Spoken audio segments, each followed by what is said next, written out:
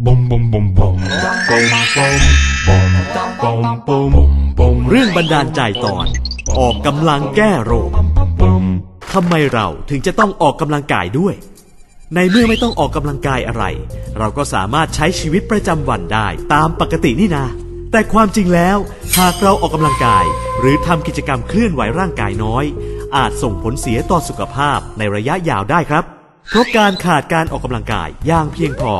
จะทำให้ไขมันเกิดการสะสมเป็นไขมันส่วนเกิน จนอ้วนลงพุงได้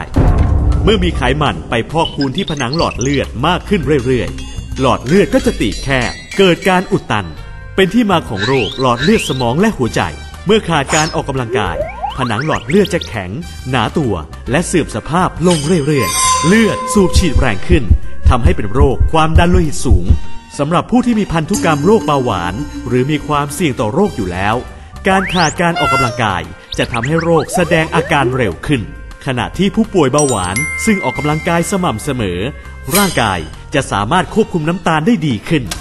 สำหรับเด็กควรออกกำลังกายอย่างน้อยวันละหนึ่งชั่วโมง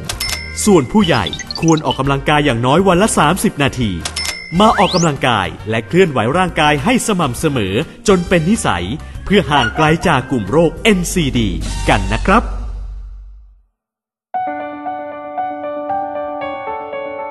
ที่ผมมีหน้าตาสดใสสุขภาพดีก็เพราะว่าออกกำลังกายครับ วิธีออกกำลังกายของผมก็คือในตอนเช้า ผมจะเดินอย่างน้อย 1-2 ชั่วโมงครับ และหลังจากนั้น